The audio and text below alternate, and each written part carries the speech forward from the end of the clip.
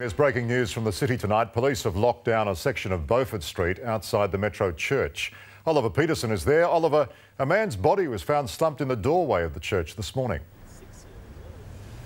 Liam, mystery surrounds the discovery of the body on the front steps here of the Metro Church on busy Beaufort Street in Northbridge.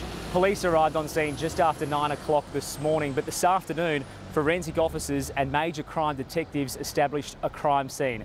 The identity of this man isn't known at this stage, but Nine News understands he's aged in his 40s and he is homeless. Lou, as we go to air this evening, the front of the church and a side alley remain cordoned off as police investigations continue.